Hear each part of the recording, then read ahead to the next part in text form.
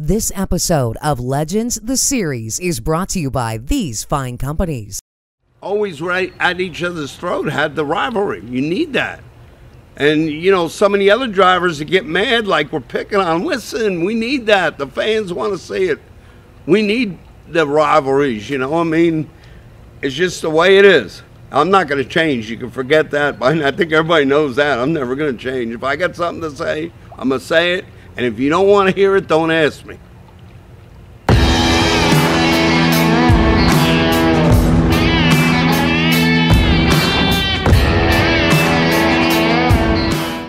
What's Pat's speed shop?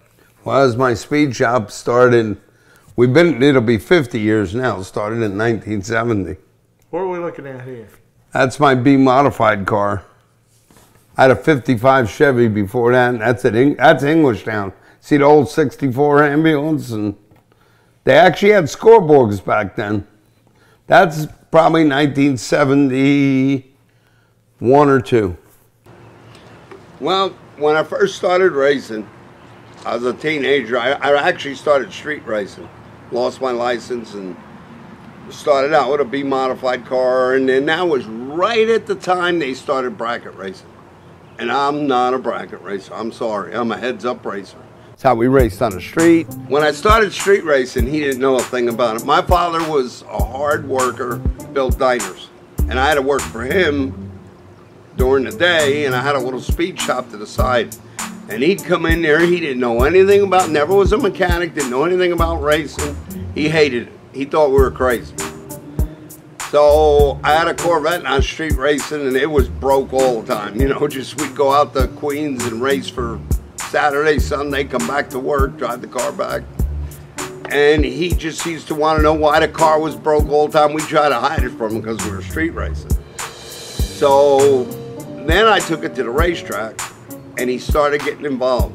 And about, I would say, in less than a year, he was hooked as hard as any of us. He backed me through all my pro stock days, came with me, was right at my right side, was great. Of like I'm doing with Lizzie, you know, but he didn't know anything. He learned whatever I learned, you know, as we went along, but he had, you know, he believed in his son and I believed in him, you know, he came. So I, they were great days for me. But um, truthfully, a lot of guys come from racing parents. I didn't have racing parents. They thought I was nuts when I started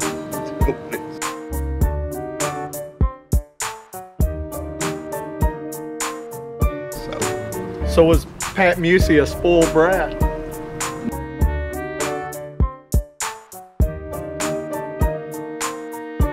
I don't, you can just go look at my, I hate to say it, but I'll just say it. My assault and battery record was not good in them days.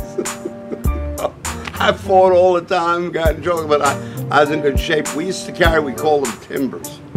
They were four foot long, six by eights, and I carried hundreds a day. Because we had to move these diners on wheels. I would drive the truck as my father got older, and these units were 19 foot wide. That's two and a half lanes of the highway, 70 foot long, and I had to drive them. We'd get there four in the morning because we had to drive through the night, and I, we'd have to build what we did with the timbers is just picture this way cribbing we called it. So four cribs four corners we'd unload them timbers. I mean i bet you i moved thousands of them in my day. So i had to work a job just like anybody and working for my old man i probably got fired once a week. He, my old man was i mean he's just no let up.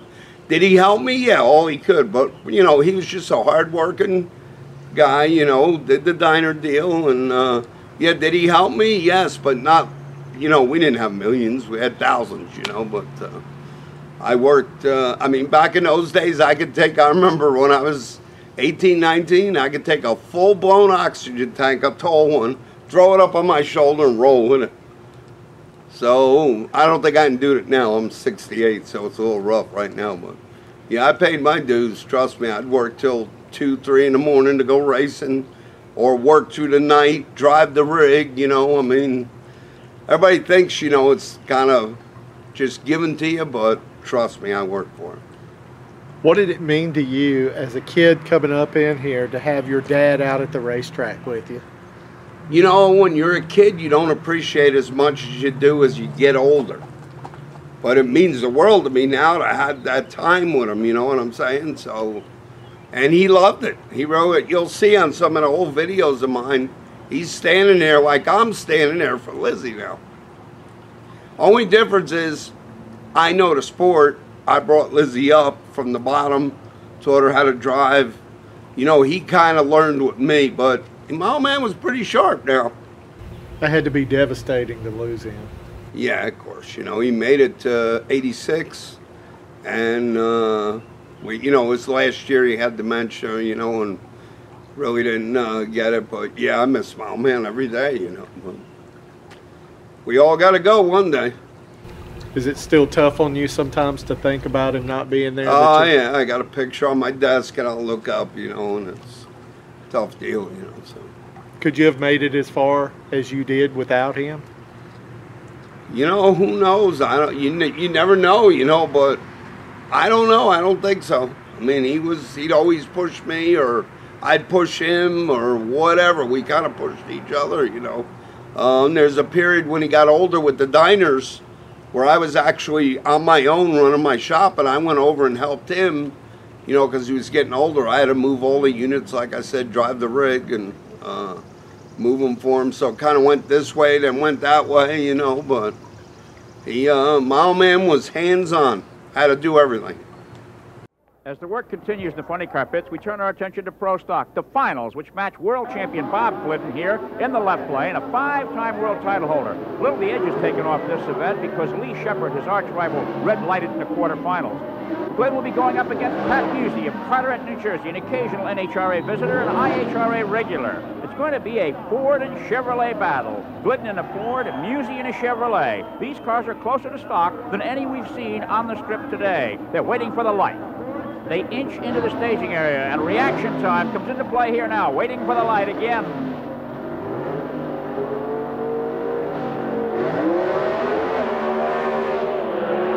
And they're off, and it's Musi ahead of Glidden at the start.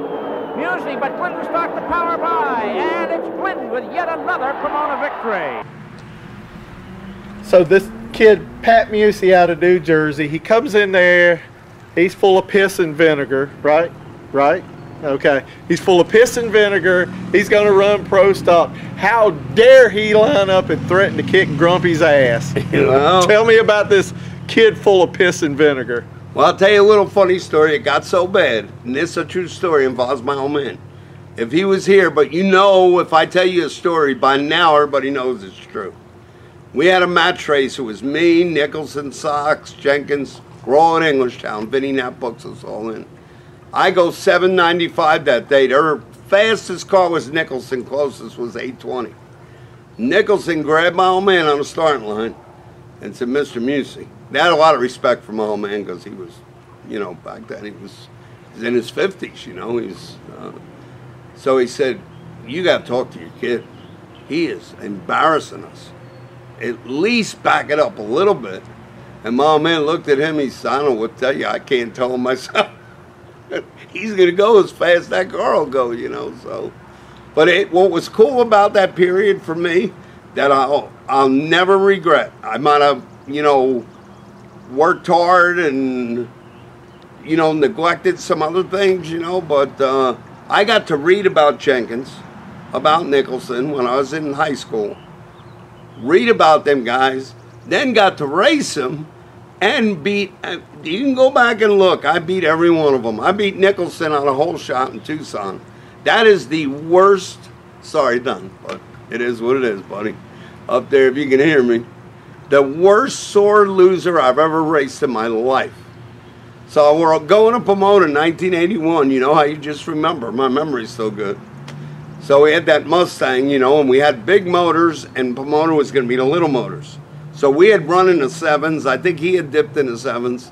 So I run him in the final, but it was altitude. Ne- I know the numbers. I went 826, he went 823, and I beat him probably a half a car length at the finish line.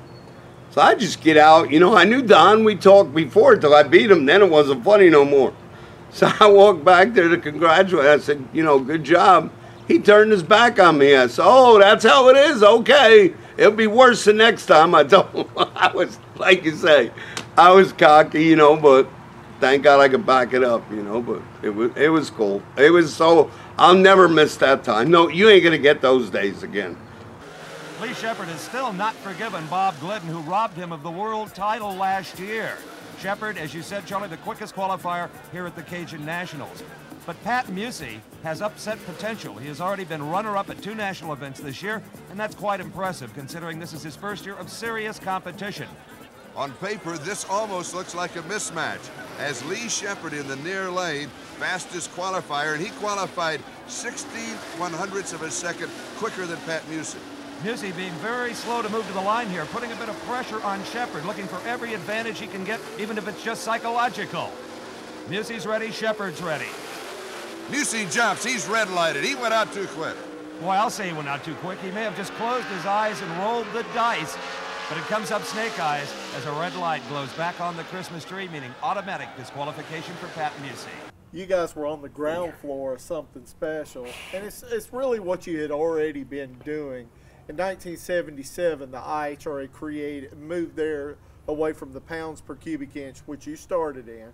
They moved to the big motors, which was like ma- uh, max uh, Mountain motor. race, mountain motor stuff. So tell me how that era played right into your wheelhouse. Well, I was a big block guy all along. So it anybody that was a lot of them cars, pounds per inch, were small blocks. Although I ran a D-stroke big block and did really well with it. Finished fourth in NHRA in '81, but uh, later on, but it fell into my deal because I was a big block guy.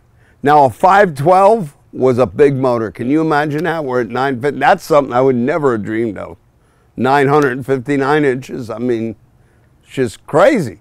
512 we take and another thing about that period a lot of people don't get we couldn't go to dart and buy a set of cylinder heads we couldn't go buy a block somewhere we had to go get a junkyard corvette block or a 427 block fill it up with concrete bore it as big as we can bore it put a crank in it and then we had to get a set of corvette heads weld up the exhaust ports put seats in them i mean everything we did we had to redo, you know, it was factory stuff. There was no dart head. There was no, uh, I mean, you had, we did have a Rodeck block for a little while, and they were pretty good. We got up to like a 605, I think, after that, but then from there it just escalated to what we have now.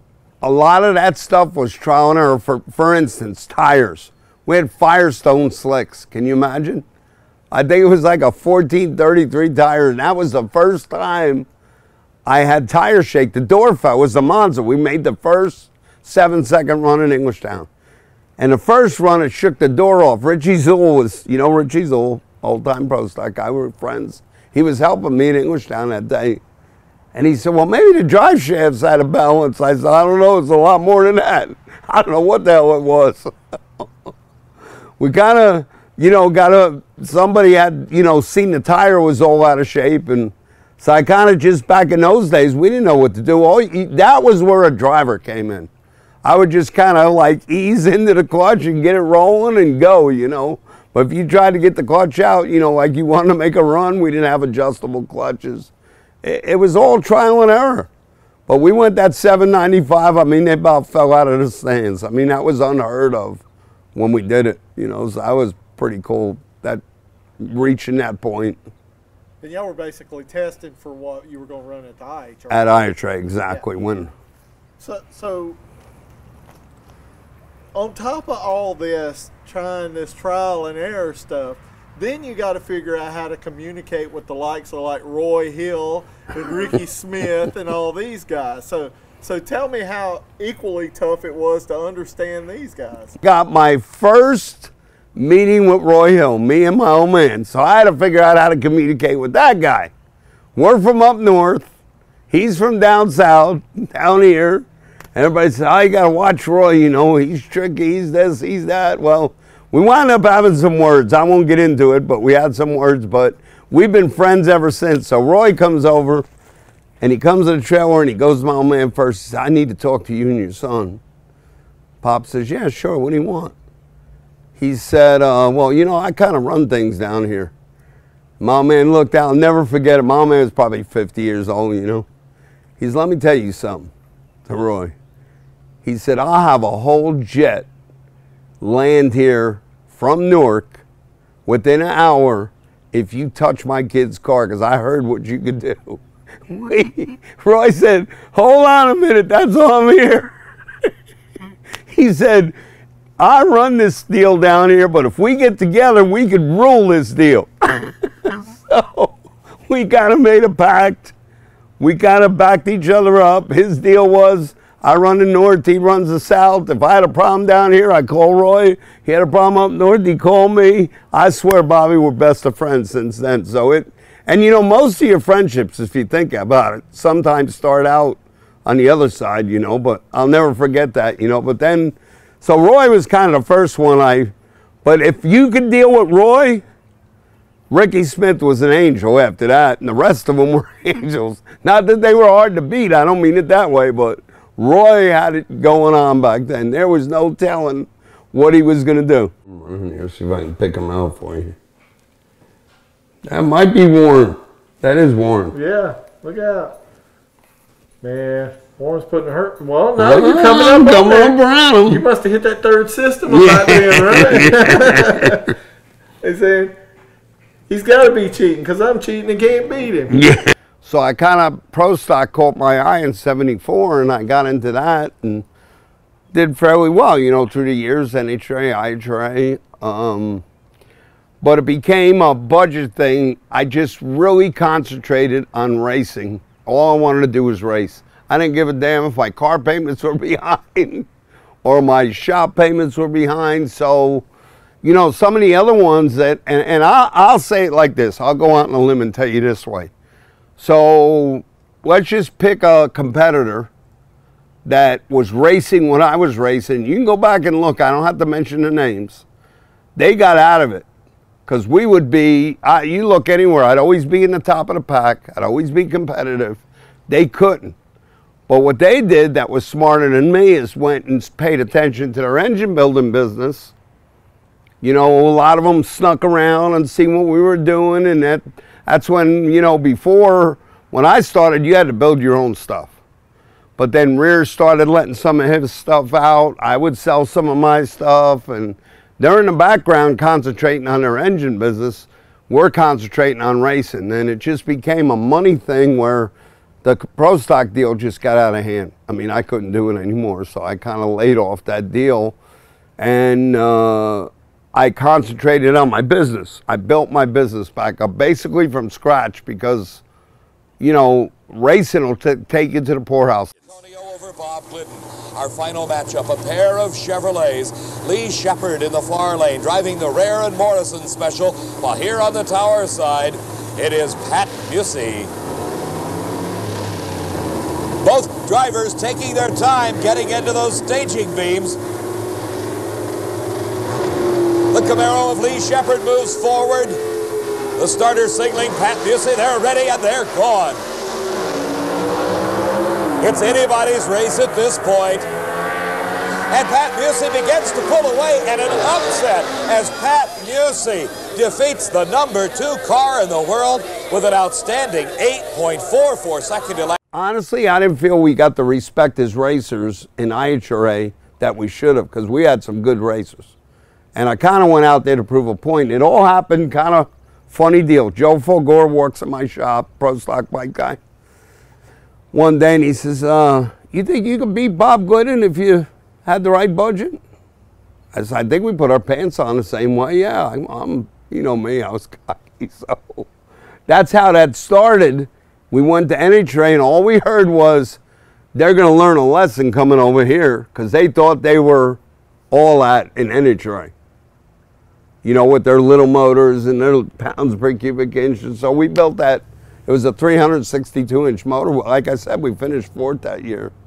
I mean, I was probably the only time in Indy that every anybody out qualified Glidden or Shepherd in NHRA in over two years. So we proved the point, you know, and we kind of brought some light. And then I think Ricky came in NHRA. A lot of them did, you know. I mean, for whatever reason, we just didn't get the media attention they got, you know. And they they thought Reher Morrison, the sun rose and set in Arlington, Texas. That's all I can tell you. Well, it didn't. I showed him in Indy. It didn't. Now, did you get their respect because you came in as a bully? Were you bully? No, no, we, we it was based on performance. I, I, I didn't, you know, I mean, I, I, I'll set the record straight. I'm only a bully if you come at me. Then be ready. But I'm not gonna. I, I wasn't the type of person to bully any around. But don't start with me. I always say it like this: I'm not a good starter. I'm a good finisher. So no, it wasn't about that. was just pure. We ran good. I mean, Jenkins come over, shook my hand. Glidden come over, Reher protested me three times in that race. Uh, um, actually, Butch Leal was crewing with me that year. It was pretty funny. You know, he said, "Look, just go with it. We'll, we'll talk crap when it's time to talk crap." And that's what we finished on a pole. We were number one qualifier that year. And see, GM was going to give the bow tie block out for the 500 inch deal, and it was going to be based on a lot of it of what they saw at Indy. So naturally, Reher didn't want a Chevrolet outrunning them, and when they got outrun, they weren't happy. That's all I can tell you. Did you get the respect from those guys towards the end of the season when you proved your worth out there? You know, I hate to say it like this, but yeah, but I could tell you, Glidden was from the heart. Jenkins was from the heart. But to this day, I'll, I like David Reher. We're good friends, but it wasn't from the heart. I know. I'm from Jersey. You will not get over on me. You could try. You can ask Roy. You're not going to get get over on me, and that's just how I feel about it. You want the truth, you know. Like I said, don't ask me if you don't want the answer. But. The pro street scene is one of the most explosive attractions in auto racing today. There are a few unique individuals that make the sport as exciting as it is, and Popeye Pat Musi and his crew have established a winning record in appearances all across the country. Pro Street. Why did Pro Street appeal to you? That was so far away from what you had done for years. Well, I'm gonna tell you honestly. I'm sitting at my desk one day, and I keep reading about Tony Christian winning this, winning that, winning this, looking at this deal. I see this Annette Summers. I don't know who she is, and uh, I looked at my guys. We're having like you know we'd call it shop talk at night. You know, I said, look, if Tony is winning this deal, we could go over there and take over that deal. And we rolled into St. Louis, Bobby. We did. Tony called me when he found out I was going to run it. You know, Tony was my reason. I swear. I knew Tony's capabilities. Good racer, don't get me wrong. Tough to beat. But I felt like I looked at what it would take budget wise, had a partner, and I said, we could do that deal on a limited budget. You know, where the races were, the money they were paying. I mean, that, everybody thought we raced for nothing back then. Somebody made a comment. I corrected it on them. We had 50,000 one year for the points, 25 in the other one. I won, I think, 75,000 one year. Tony won. We won a lot of money at it. So we were able to do that deal. I had a couple sponsors. I had that NEC deal. So I guess what I'm trying to say, I'm the kind of racer, I don't want to be cuffed by financial and get beat. You know, if I think I can do it, then I'll do it. And the pro stock deal, became the Millionaires Club. You couldn't do it. I mean, there's just no way. I mean, you look. I, I, I didn't even. I couldn't even tell you hardly who runs Pro Stock anymore. After Warren retired, I mean, I, I don't even know these kids. You know, but uh, I don't know if they could screw a spark plug in. Maybe I ought to ask them one day. Ask one of the drivers, hey, can you put a set of plugs in that thing? the quickest car and the fastest car in NMCA. Who was it? Bob Rieger. Okay. And NSCA, who was? I would have been, believe me, if I was over there. Take that to the bank. Musi will go over there and tell you how good his 650s run. No. No, I would have been. Who's the fastest real car other than that hair dryer crap? Pat runs real good. I'm not going to take that away from him. Pat runs real good. Who's the most consistent, can make it down the track lap after lap after lap? Me. Period. Okay? So let me ask you this: Was it Tony became a natural uh, rival because no class can have two equally proficient crap talkers? Is that what it was? That's what it was. You got you hit it on the head. That's exactly what it was. And you know, he drove me, I drove him. You know, it was a mutual deal. But Tony's a good racer. I wanted to beat him every time we went out. You know, and now if you hear Tony tell it, I never won, but I got eight world championships. So do the math. I had to win some races, wouldn't you think? But no, he was as good as we were. You know, I, he'll probably tell you that we're great friends now. We laugh about it, but uh, we would go at it. I mean, it was for real. We'd go at it. We'd try to run our heads off out there, but it, it was a good time. How close did you come to fight? Nah, I wouldn't fight Tony. I don't think I. I don't think he'd fight me. We we we laugh about it, especially when it had his lung out. You know, we laugh about it. He said, "Damn, I'll be out of breath." We start fighting. Don't start no fights. when y'all were when y'all were at it, y'all y'all didn't ever come close to fighting. Nah, just words. I don't think we. I, I, it, it, was bad, but not quite that bad, you know. But uh, he, um, we went at it pretty good. I mean, at Rockingham, I got under his skin with that license plate I had.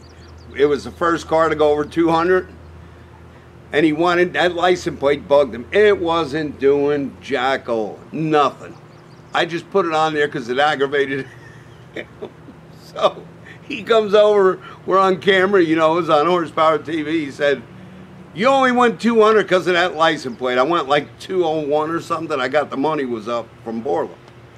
And uh, I said, Well, how much do you think that license plate's worth?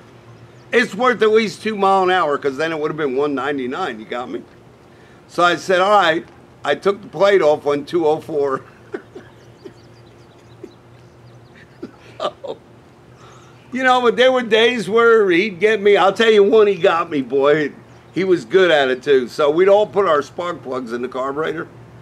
You know, all eight plugs. And back then we burned up stuff coming and going. It was we called it learn while you burn plan. Nitrous in them days, you know. So if you had a tip off the plug, that was the first thing you looked for. So I looked at all my plugs. I said, we're good, made a good run. Well, he run NGKs. I run NGKs at that time. I turn my back. He puts one of his burnt tip plugs in my deal.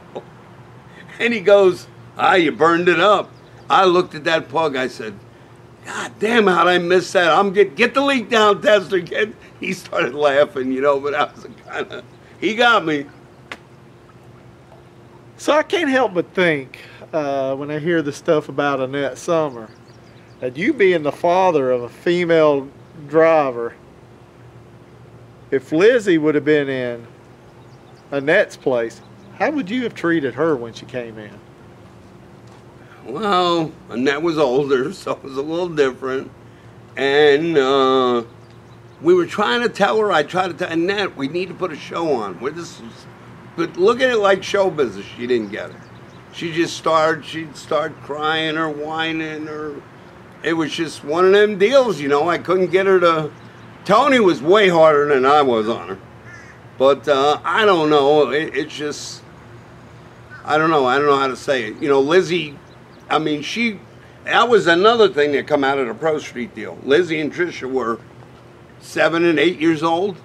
They learned watching me. They knew how to stage their juniors from just watching me race. So they knew exactly how to do that. And then we couldn't wait to get them in a car and get rid of them damn juniors. Brett Kepner. Meanwhile, we're ready to go. This is it, the Pro Street Finals. Pat Musi, the number one qualifier against this man, little Ricky Carlos out of Ontario, Canada. Well, this is a USA versus Canada match. The number one and two qualifiers, that's the way it's supposed to work. We started out with 16 Pro Street qualified cars. We're down to the final two, and it is the number one and two qualifiers. A pair of Camaros on the line. Pat Musi is a little late off the starting line. Ricky Carlos, a gate job. Musi may be in trouble. Uh, Pat Musi pulls out the win barely.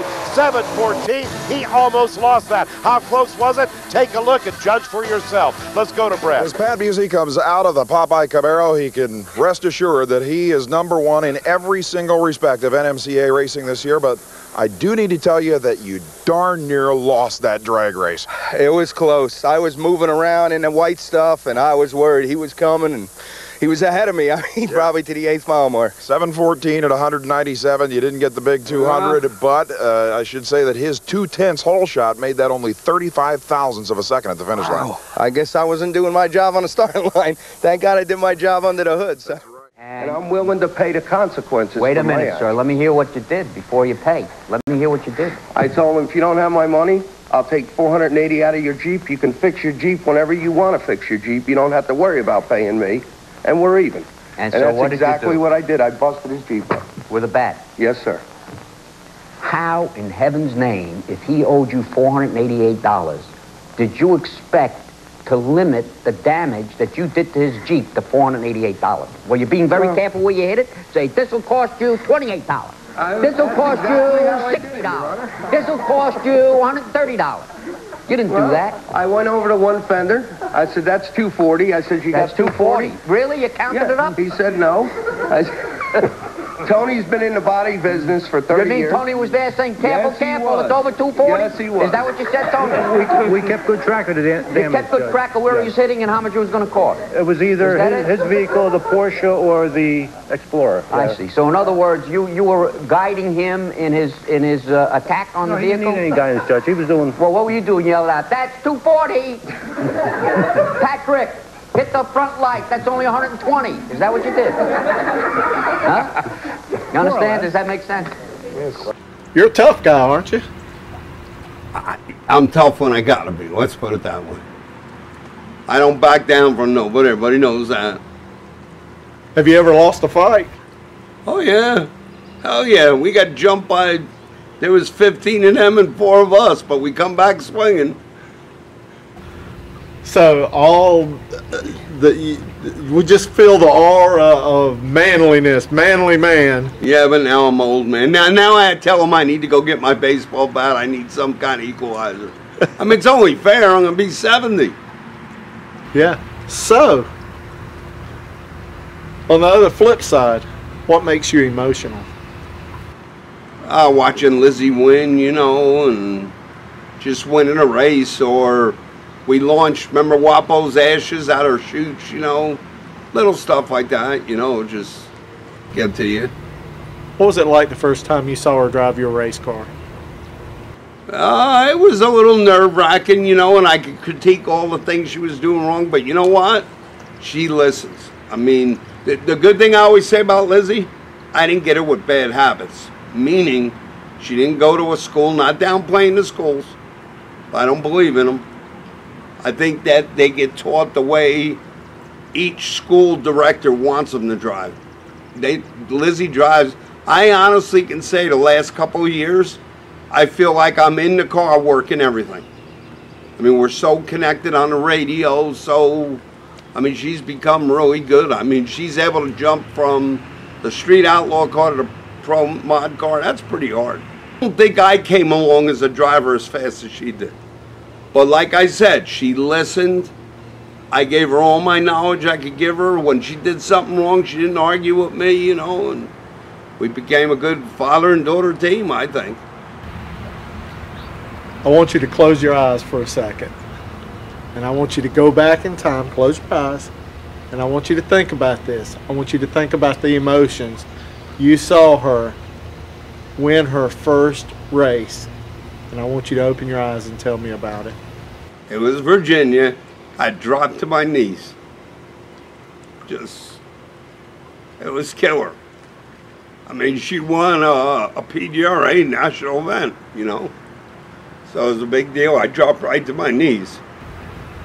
Is there is there something about a father seeing a daughter follow in his footsteps and be successful at it that you can't help but come to tears? No, you can't help that part of it. And knowing the teams we beat, how long they've been at it, their financing, you know, what they have. I mean, you got some hitters, Tommy Franklin. You got some hitters out there. Just a little shoot off. We started doing this street outlaw deal. Everybody knows I was against it. Well, Bobby, when you go to one of them races, it's like being back in the NMCA deals. The crowds, the TV. We had horsepower TV. Now we got Discovery Channel. And I'm watching Lizzie grow up into that, you know, and she's got a lot of avenues she could go down. So, do I take heat for it? Yeah, a little bit. It. We had this guy Joey on our crew. He had this like hyena laugh, right? He just laughed. You could hear him. You could pick him out in the crowd. And he would. He got Lapone on, at Indy on the starting line, deep pants. We called deep pants back in those days. He'd run up behind you, and jerk your drunk. Ricky got Gene Fulton, Puerto Rico. Do you remember that? anyway, so Joey was kind of known for that. And we're all we're up top. It's Ricky and his crew, Roy and his crew, my and my crew. We're all had big guys with us. There was a there was ten football players, let's say. So Roy's getting bored. He wants something to do. That's how it always usually start. Roy'd get bored. So he looks over and right at the bar, this guy's kind of like got his elbow on a bar. He's drinking and he got this little damn shorts on in a bar with guys. I mean, come on, man.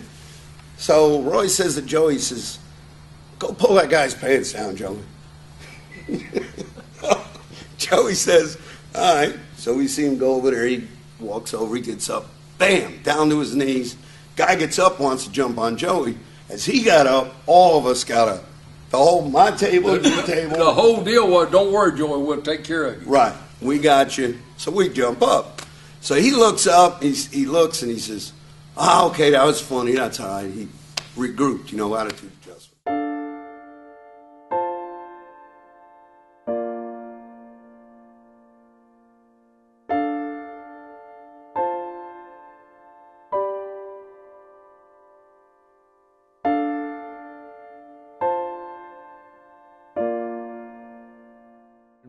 like to re- be remembered by in drag racing as a guy that started at 16 years old as a street racer, built a business, and then trained the driver. I think I've accomplished everything you could accomplish. I've earned the respect of manufacturers.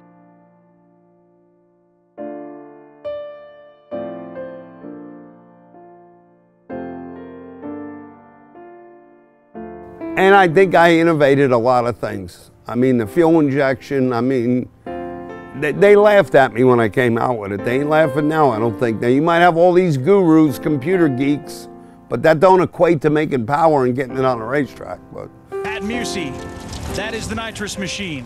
Brad Personett with the big speed car is in the right lane.